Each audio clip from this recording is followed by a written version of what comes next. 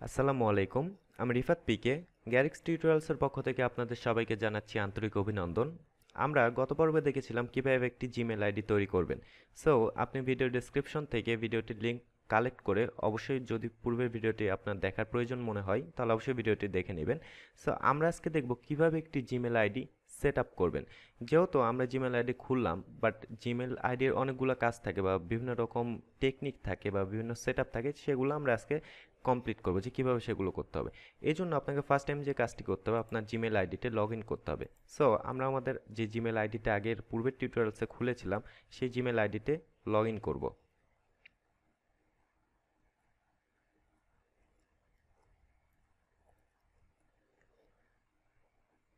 তারপর নেক্সটে ক্লিক করব।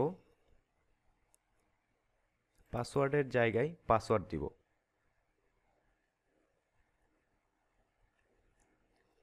তারপর নেক্সটে ক্লিক করব।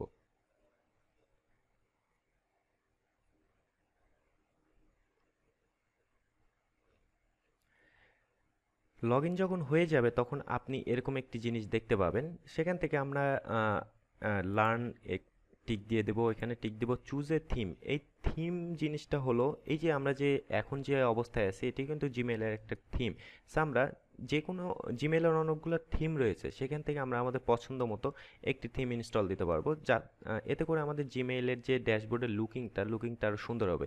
আর একটি কথা আমি আপনাদেরকে বলব যে, যেহেতু জিমেইলটা অনেক ইম্পর্ট্যান্ট একটা জিনিস সো জিমেইলের লুকিং বা জিমেইল যাতে কাজ করার মতো কাস্টমাইজেবল একটা অবস্থায় থাকে বা এক কথায় ইউজার ফ্রেন্ডলি হয়, সেভাবে আপনি আপনার মনের মতো করে সাজিয়ে দেবেন।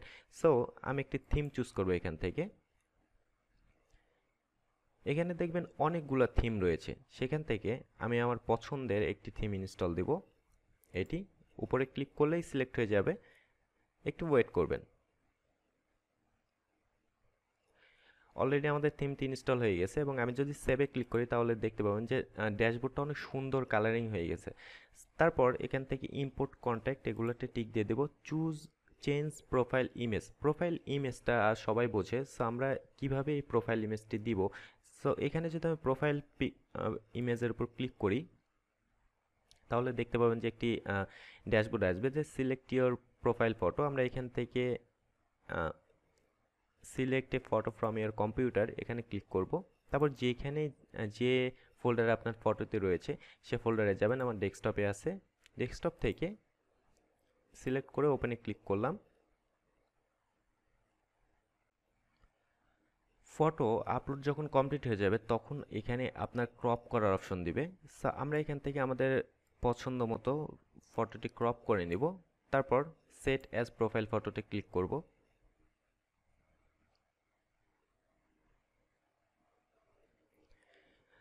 দেখতে পাবেন যে তারা আমাদেরকে কনগ্রেস জানাবে। সো আমরা যেহেতু সেট আপটি কমপ্লিট করে ফেলেছি, এখান থেকে আমরা কেটে দেবো এটি।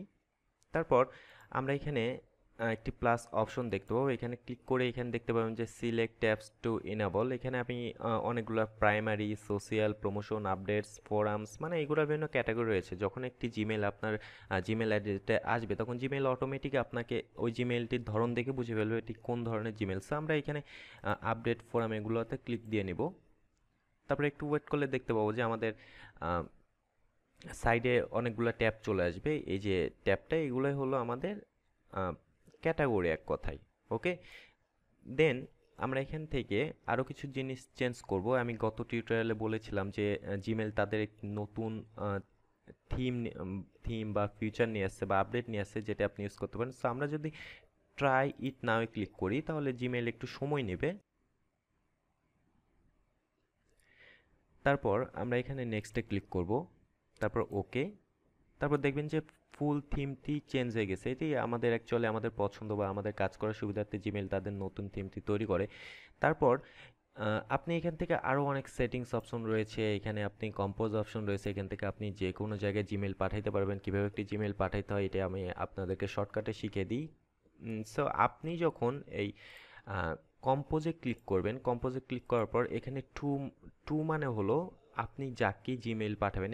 এখানে আমি একটি জিমেল আইডি টাইপ করছি। তারপর সাবজেক্ট। সাবজেক্টের জায়গায় যে কোনো সাবজেক্ট আমরা এখানে লিখলাম টেস্টিং তারপর এখানে আজেবাজে কিছু লিখে দিলাম। যাই হোক, এখানে আপনি যেই মেসেজটি পাঠাবেন, সেই মেসেজটি এখানে টাইপ করবেন। এখানে নিচে কিছু জিনিস দেখতে পাবেন যে সেন্ড তারপর এখানে আরও কিছু আইকন রয়েছে। আমরা যদি এই আইকনগুলোর উপরে রাখি, তাহলে এখানে দেখতে পাবেন যে ফরম্যাটিং অপশন মানে টেক্সের বিভিন্ন রকম ফরম্যাটিং এখান থেকে ক্লিক করতে পারবেন। তারপরে অ্যাটাচ ফাইলের সাথে আপনি বিভিন্ন রকম ফাইল অ্যাটাচ করে দিতে পারবেন। তারপরে এখানে লিঙ্ক ইনসার্ট করতে পারবেন, তারপর ইমোজি দিতে পারবেন, তারপর গুগল ড্রাইভের বিভিন্ন ফাইলের ইয়ে অ্যাটাচ করে দিতে পারবেন তারপর ফটো দিতে পারবেন, বিভিন্ন রকম জিনিস আপনি দিতে পারবেন, তারপর আপনি সেন্ডে ক্লিক করবেন। সেন্ডে ক্লিক করলে এখানে আপনাকে দেখবে সেন্ডিং আর একটু পরে দেখাবে মেসেজ সেন্ড যখন দেখাবে তখন ধরে নেবেন যে জিমেলটি চলে গিয়েছে। সো এই হলো জিমেইলের বেসিক জিনিস আরও কিছু জিনিস থাকে যেগুলো আপনি যখন এই জিমেইল ইউজ করবেন এমনিতেই জানতে পারবেন বা শিখতে পারবেন, এগুলো আসলে নতুন করে বলার কিছুই নাই।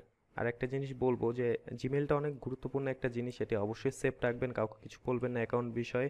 আর আমাদের টিউটোরিয়াল যদি ভালো লেগে থাকে বা চ্যানেল নতুন, অবশ্যই সাবস্ক্রাইব করবেন। আমি আশা করি আপনাদেরকে খারাপ কিছু দেবো না। আমি যা জানি আপনাদেরকে একদম হুবহু জিনিসগুলো শিখিয়ে দেবো, যাতে করে আপনার অনলাইনের যে বেসিক জিনিসগুলো বা কীভাবে কি করতে হয়, জিনিসগুলো আপনি খুব সহজে ক্লিয়ার হয়ে যাবেন। এতে করে আপনার স্কিল ডেভেলপ হবে। সো আর একটা জিনিস আমি আপনাদেরকে বলব যে, আমি জিনিসগুলো একটু বিস্তারিতভাবে বলছি যাতে করে জিনিসগুলো বুঝতে পারেন।